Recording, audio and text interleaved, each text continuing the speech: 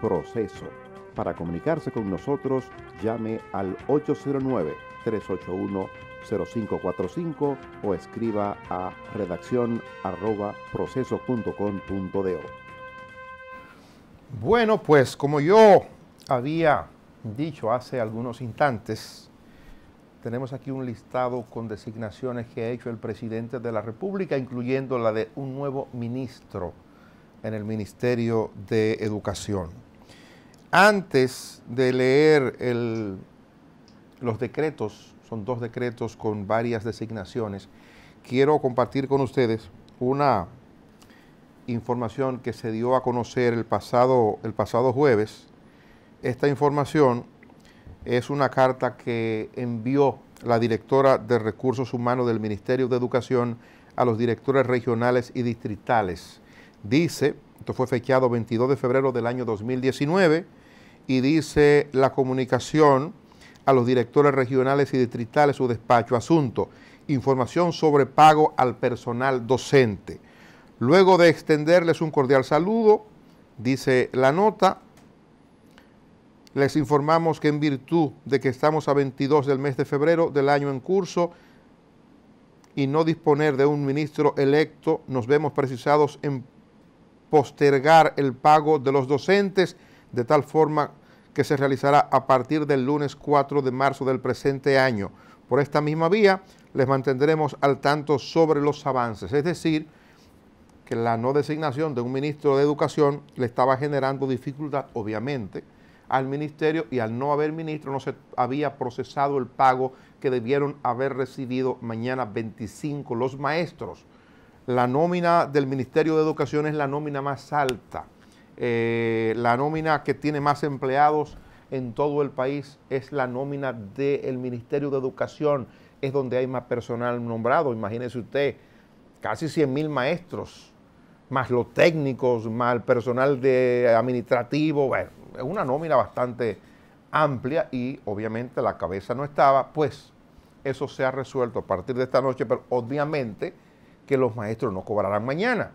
Habrán de cobrar en un tiempo razonable y eso le trastorna un poco la vida a gente que necesita su dinerito para pagar el alquiler de la casa, el financiamiento del carro, el colegio del hijo, bueno, todas las cosas que uno sabe que hay que hacer en una casa con un presupuesto.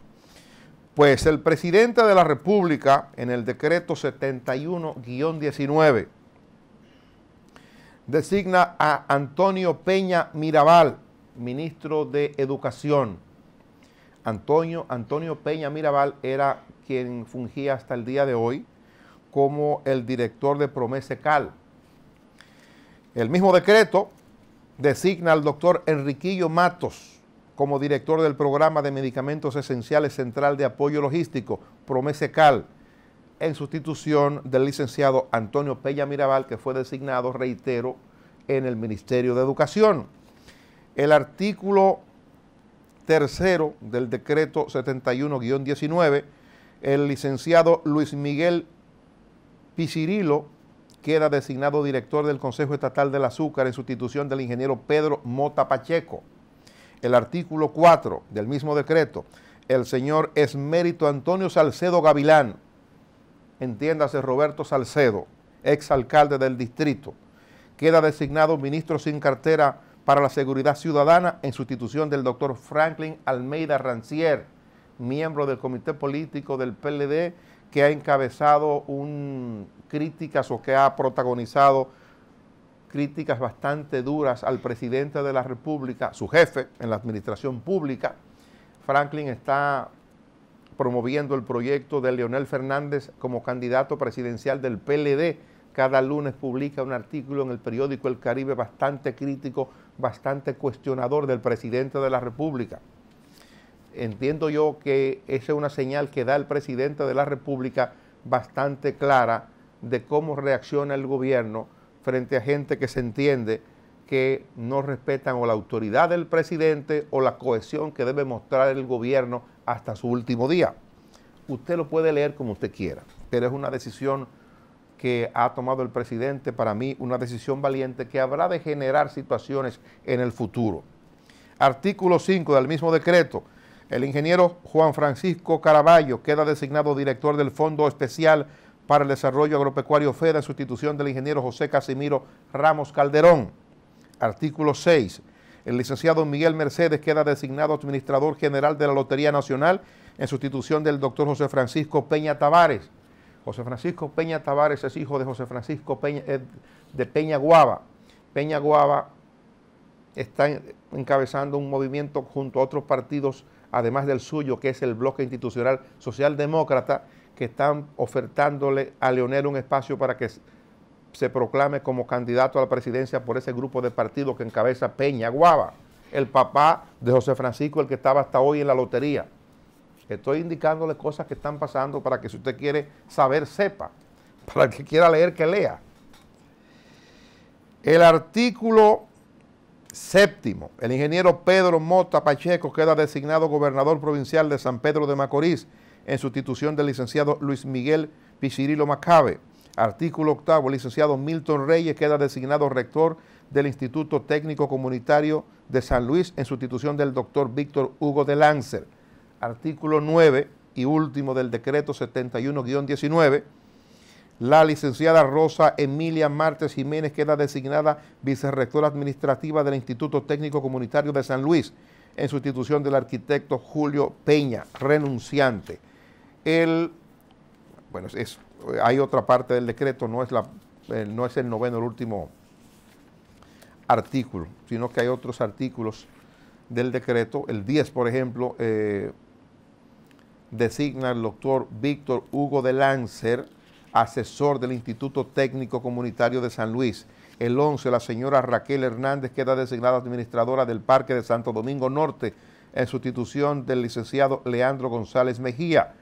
El artículo 12, el ingeniero José Casimiro Ramos Calderón queda designado director general del Instituto del Tabaco y Tabaco en sustitución del ingeniero agrónomo Juan Francisco Caraballo. Artículo 13, la señora Mayra Almonte Silverio queda designada su directora de la Corporación de Acueductos y Alcantarillado de Santiago Corazán. Artículo 14, el licenciado Hugo Gómez Guzmán, designado subdirector de la Corporación de Acueducto y Alcantarillado de Puerto Plata, Cora Plata, en sustitución de la señora Mayra Almonte Silverio.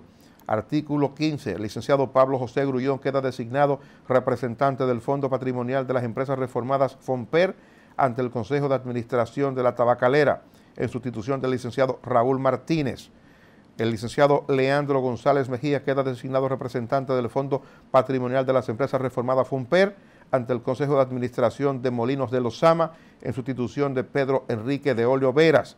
Artículo 17, envíese a las instituciones correspondientes para conocimiento y ejecución, dado en Santo Domingo a los 24 días del mes de febrero del año 2019 año 175 de la independencia, 156 de la restauración de la República. A propósito de año de la independencia y de la restauración de la República, mañana a las 7.30 de la mañana, el gobierno que encabeza el presidente Danilo Medina está convocando a sus ministros, a sus funcionarios al Palacio Nacional para participar en un acto a la bandera. Se va a producir el, enestamiento de bandera 7.30 de la mañana en la primera oficina pública de la Administración del Estado, que es el Palacio Nacional, donde tiene sede el gobierno que encabeza el presidente Danilo Medina. Vamos a ver ahora una información con Francisco Javier Mena sobre el pacto eléctrico.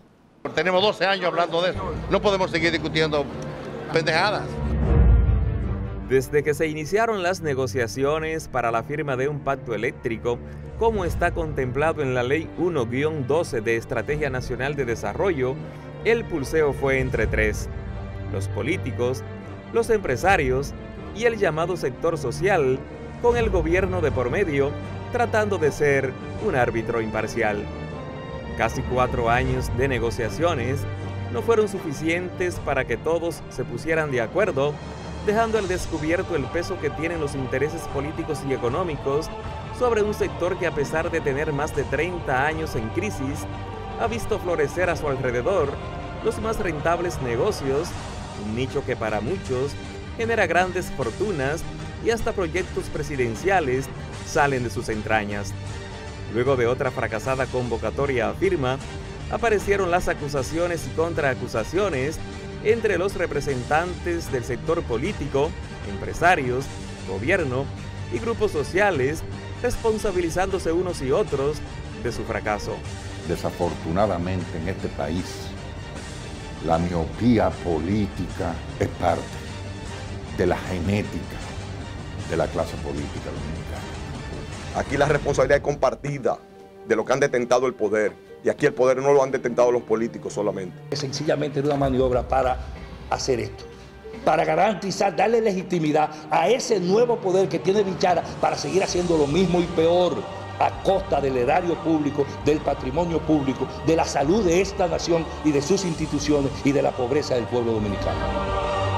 Tras la convocatoria a firma del pacto eléctrico hecha por el Consejo Económico y Social, entidad que fue el escenario de las negociaciones, el Partido Revolucionario Moderno rehusó participar y desde el gobierno recibió como respuesta el calificativo de profeta del atraso a través del influyente ministro de la presidencia, Gustavo Montalvo.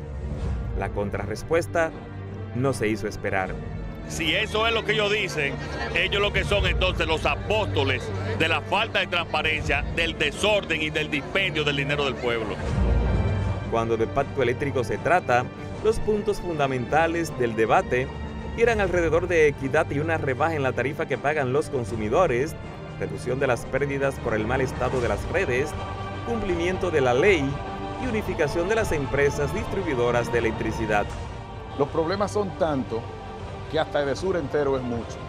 Se necesita una eh, coherencia eh, estructural, integral, para que eh, se sepa cuáles son las proyecciones, qué demanda se va a suplir, dónde va a haber más generación, qué transmisión se debe hacer y las distribuciones cómo van a ser fortalecidas. En público el pacto eléctrico todo el mundo lo quiere, casi todos lamentan su fracaso, pero nadie lo firma. Al parecer el mayor interés por su firma sale desde el gobierno, pero será casi imposible que el presidente Medina lo utilice junto a Punta Catalina como tema de discurso en su próxima rendición de cuentas. Lo importante es que tengamos 200 antes del 27 de febrero Gracias, Gracias. Para proceso, Francisco Javier.